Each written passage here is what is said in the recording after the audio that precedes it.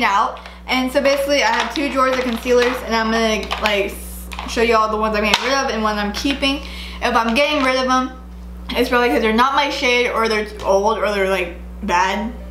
So yeah, let's get started. So the first things are these palettes. I got one from NYX and then this one from L'Oreal. And I just used these the other day and they're perfectly fine, so I'm gonna keep these. This is a LA Colors one and this looks very old and separated, so we're gonna get rid of that one. Next one is a concealer from Kokie, and it looks good and it's like my color, so I'm gonna keep this. Next thing is this Revlon Youth Fix Fill Plus Blur Concealer and we've had this for so long and I didn't actually even anything in there. Oh, there's stuff in there. It's just, yeah, it's old. So we're gonna get rid of that. Next thing is this Instant Age Rewind from Maybelline, and this looks so pink. It's very old. I don't, I don't think it's even gonna work. Oh, it did. That's nasty that it did. Ooh, and it's so pink. Ooh, we're getting rid of that. Okay, next thing is this Pixi Brightening Peach Correction. And it's like this pink color. I'm gonna swatch it. It was dried up. So we're gonna get rid of it because it's dried up. Next thing is a Physicians Formula Insta Ready Concealer. And from the bottle, it looks like there's some separation. Uh, we're gonna keep this. It's my color. Uh, this one is like gray and it's all separate. I'm not even gonna open it. It's from Catrice and ew. Next is the Master Conceal by Maybelline and oh, that's bad. It just squirted out liquid. It's old. We're gonna get rid of it. Next thing is this e.l.f. highlighter and concealer duo. So it's basically a white concealer. And then we have Fenty Who. A concealer that's way too light, so we're gonna get rid of it.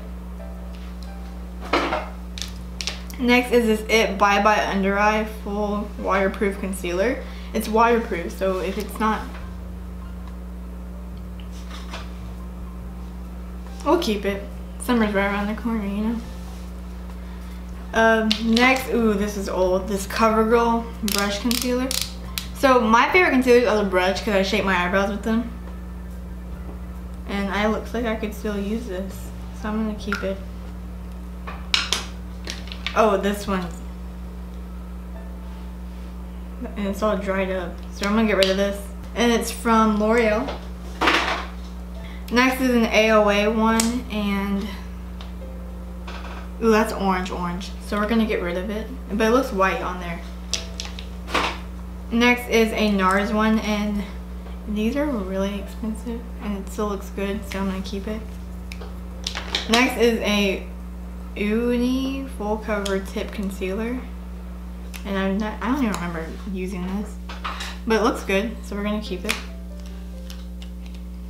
Next is the Flower Light Illusion Full Coverage. It looks good. Next is my Maybelline Dream Corrector. We're gonna keep it. It's not bad. Uh, this Sephora one though, it's like looks like a ghost. Yeah, this is way too light. We're gonna get rid of it. So these are two ColourPop ones and these are all separated and bad so we're to get rid of these.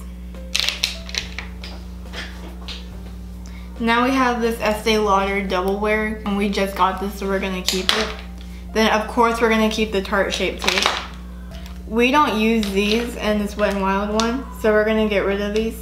Like all these we're to get rid of. Oh, and this e.l.f. one. And then we have a Born This Way concealer, which is actually good, so we're gonna keep it. Um, we have a Revolution one. This one looks good, we'll keep it. And here's what it looks like.